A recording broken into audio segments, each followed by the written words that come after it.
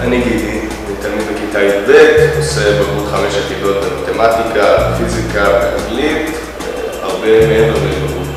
אני אמיר, כיתה י"א, וכמובן עושה בגרות מלאה. כיף לבוא לפתוח הדמוקרטי, לקח לי כמה זמן להתרגל לזה שאני מגיע לבית ספר בחיוך ולא בבאסה שאני הולך ללמוד. בפתוח דמוקרטי יש יותר דינמיקה חופשית בין המורים לתלמידים. אני רציתי ללמוד להיות חבר כנסת, אז פעם בשבועיים בית הספר שלח אותי לכנסת. אני סגור על הבטוח.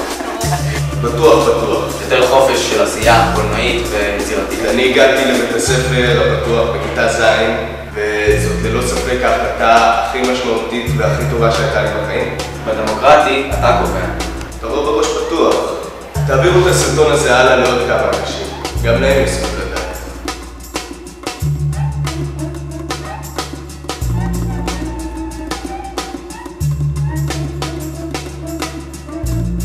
היי, אני נועה, אני לומדת בבית ספר, והפתוח זה המקום.